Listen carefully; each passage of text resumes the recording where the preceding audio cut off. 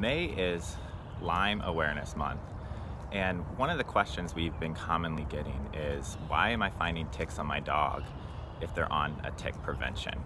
And real quick, I just want to give a background on Lyme disease for those of you that don't know, but it is tick-borne. The deer tick spreads this disease once they attach to a dog and take a blood meal.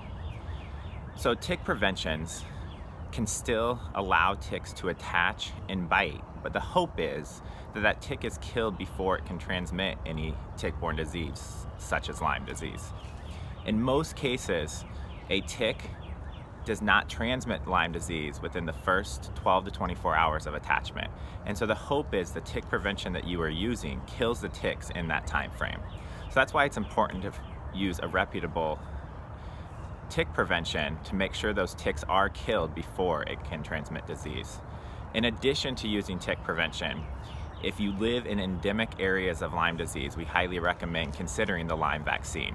While both the tick prevention and the vaccine are not 100% effective at preventing Lyme disease, taking the necessary precautions can help limit your dog's risk of developing this disease.